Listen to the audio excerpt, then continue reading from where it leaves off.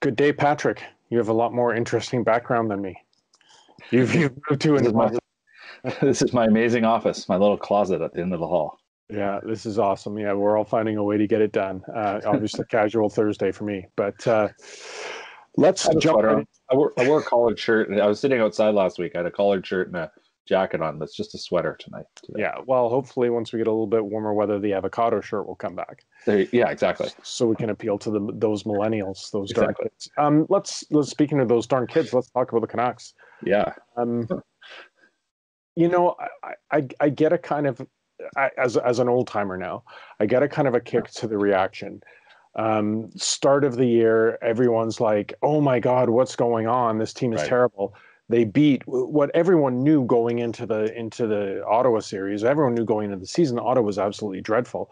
They beat right. Ottawa. Everyone's like, "What was everyone panicking about? This is the these are the real Canucks." Now we're back in panic mode. Like, yeah, I, none of this surprises me. They're not as bad as people were making them out. They're not as good as people were making yeah. them out when they beat Ottawa. How do you see it? I think it's exactly that. And I, you know, I've been working on this quarter pole story, which you know I think will be up probably by the time this video is up. We'll see. Maybe this weekend. Um, and you look at where the Canucks sat when the season stopped. And you know they had some really they you know had a pretty good start to the year. They had actually we, we remember those terrible losses in florida but january was actually really good. They were eight and three in january last year. Maybe a bit of luck. Obviously a lot of markstrom. Um, but february and march they kind of sank in terms of those two months. They were seven nine and two. They sank you know they were just sinking. That's just kind of treading water. And they were in on the bubble you know depending on how you counted uh, they were either seventh or they were ninth. And, you know, they weren't a certainty to make the playoffs at the end of the season last year. And this is essentially the same team. Uh, perhaps, you know, I think not as good in goal, obviously. Maybe a little better on defense, just in, at least on paper.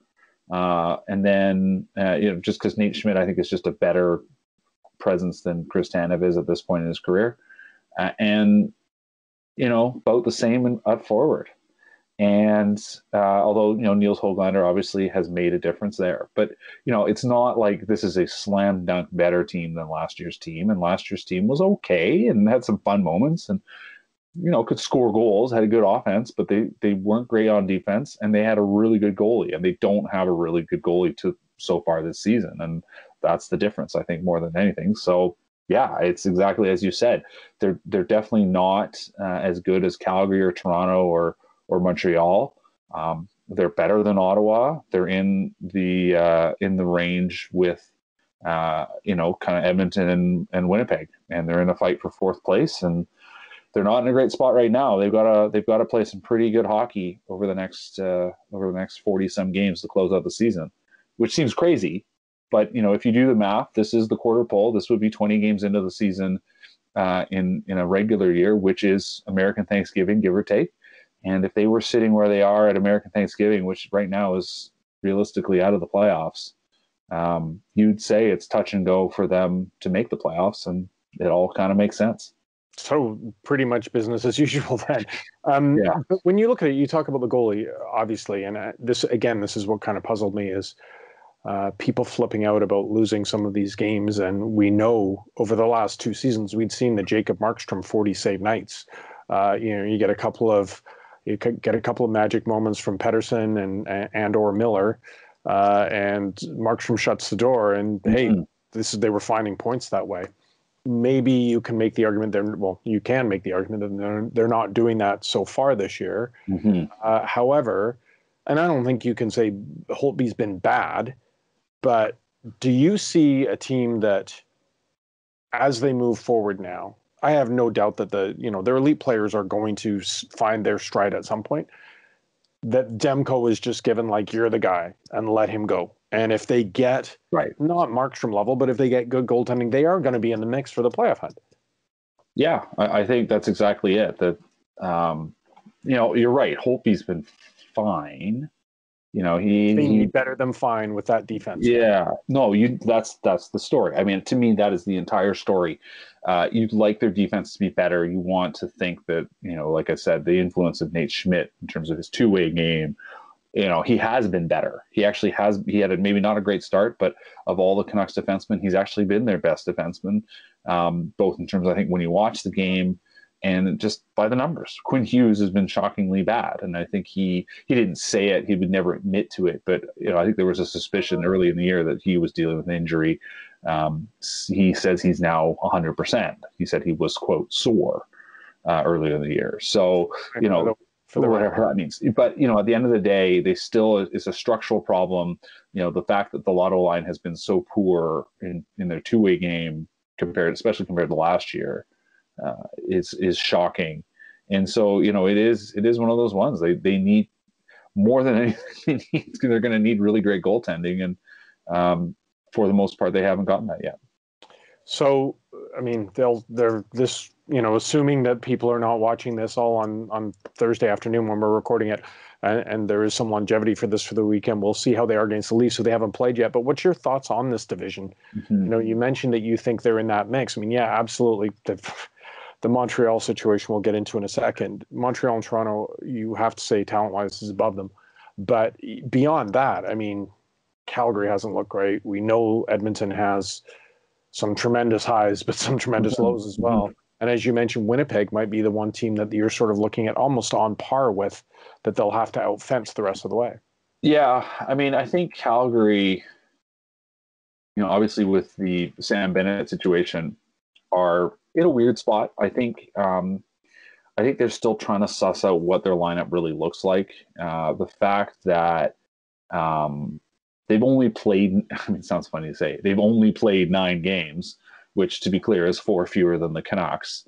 Um, and you know, it, it, I think Calgary all of a sudden is going to find itself in a better spot. They're still sitting behind the Oilers if they say they win their game in hand. Uh, they're for, you know they have they have a game in hand on on the Jets, the Leafs, and the, the Habs. Say Calgary wins that, they're still not in the playoff mix. Um, but the fact that they have only given up 23 goals this year, which you know obviously is half the number the Canucks have given up. Um, you know, and even in four four games, that's not enough to make the difference up. It's kind of striking uh, how stout the Flames have been defensively. The question for them is, can they get their offense going? Uh, you know, Chris Tanev clearly has been a strong influence on there. I think Johnny Gaudreau said the other day that uh, Jacob Markstrom's been their best player, and that's good. But a team like Calgary doesn't want their goalie to be the best player; they want Johnny Gaudreau to be the best player. Um, and and so that's you know, like their best player, though. What's that? Kind of paid him like their best player. Yeah. You know, well, yeah. Um, but you know, they need they need their offense to find another gear. Uh, yeah, and that was always an issue there. You know, it is it is. I, I think in the long run, I do think Calgary are going to be you know, I think they're the third best team in this division. I think that's how it shakes out, and that it becomes a three-way battle between the Jets, the Canucks, and the Oilers, um, with one of them really needs needing to seize the day. And I think you know the Jets will see how things play out once they get um, Pierre-Luc Dubois in the lineup, which I guess is going to be you know you know next week, yeah, next week, right? Um, you know that that's just kind of reality. I, I, the Jets still aren't great defensively. The Canucks played really well against them last Saturday. That was a surprisingly even matchup. I, mean, I don't know if maybe surprising is the wrong word, but it was given where things had been, it was a surprisingly tight matchup. The Canucks played pretty well. The Canucks actually played not bad on Tuesday. You know, they they were not necessarily unlucky to lose, but they they played actually all right. They didn't get a couple bounces, but you know what? They need more than that. They they need more than just well, you know, they they were in the game. They need to win some games. And the real challenge for them is just simply math. It's just the fact that they've only got 40 some games left. They're going to have to play something like 600 hockey to close the season. And to date, they've been sub 500. And that's, you know, it's not a switch you can just flip and say all of a sudden we're a, a, one of the better teams in the division versus one of the middling teams in the division. Okay, so we'll finish on this note. Uh, we have to talk about Ben Kuzma's interview. And it's yeah. interesting that you brought up Sam Bennett because, mm-hmm. you know, I've seen the uh, well, Bennett for Virtanen swap uh, mooted uh, in social media by fans. Sure. You know, you have to look at the general manager position and what faith you have for him to pull off something uh, changing in, a, in a, what was once a valued asset, which is now shrinking. Right. Um, obviously, you know, everyone everyone sees the issues with Jake Virtanen, and then you deal with the border and the quarantine and how quickly you need help. Yeah. And, are you fighting for your job or not? You know, I, I have some sympathy for Jim Benning in that we complain in media all the time that uh, no one ever says anything. Yeah. Ben, rightly so, asked him about Tyler Toffoli, who has just lit them up. And mm-hmm. it's an mm-hmm. obvious question. Credit to Jim for answering it. I think we know what he meant by he said, I ran out of time. Uh, needed to move money. The owners have been clear they're not going to spend dead money. Yeah. So there's no buyouts. Uh, you got to move something out to bring something in. And they wanted Toffoli, but they didn't get him done. And maybe that's his old contracts that are hanging around his neck. Yeah. But what does this mean for the Canucks front office? Well, I think it's going to be a big picture question. And I think you nailed it right there that it's not so much that he couldn't even make moves in the moment, which was true. It was there were constrictions put on what they were able to do. Part of the reason why they were able to even pursue Oliver Ekman Larsson at all was because most of his salary had been paid for the season. And that's just the matter of the fact. Um, the, the, the reality is is that at the end of the day, at the end of this season, you know, or I suppose something happens before then, but I have a hard time imagining that. Um, at the end, you know, at the end of the season, you're going to sit back and say, what's the overall picture? Sure, there's been some young, good players added to this lineup, and that's important. Uh, but the reason, you know, one of the key reasons why they weren't able to keep Tyler Toffoli, why they weren't able to re-sign Jacob Markstrom. And to be clear, I think they made the right decision because the mo- money that Markstrom is getting from Calgary, you know, it's a big bet from them that he's going to be delivered on that. And we already know about making big bets on older players. And Loui Eriksson is part of the reason why they couldn't retain Tyler Toffoli is that they've made a commitment to a player who was, I think, had the second best shooting percentage of his career the season before he signed the contract here, who was kind of a second choice after they didn't get Milan Lucic because they wanted, you know, basically ownership said, I want, we want to make a splash. We want to say this is what we're doing. We're not rebuilding. We're carrying on with this notion that we can retool on the fly. And, you know, in the end, it's not just, I mean, it isn't just Loui Eriksson. It's the decision to retain Sven Baertschi. Like Sven Baertschi, a guy they signed a three-year contract, and within a year decided, well, we don't really want this guy anymore. Like, how does that happen? Michael Ferland. Michael Ferland right out of the box. It's the same story. You go further back. Same story with a guy like Sam Gagner or Erik Gudbranson, players that I think everyone sort of looked and said, "Why? You know, they don't. They either don't fit or they're just not good enough."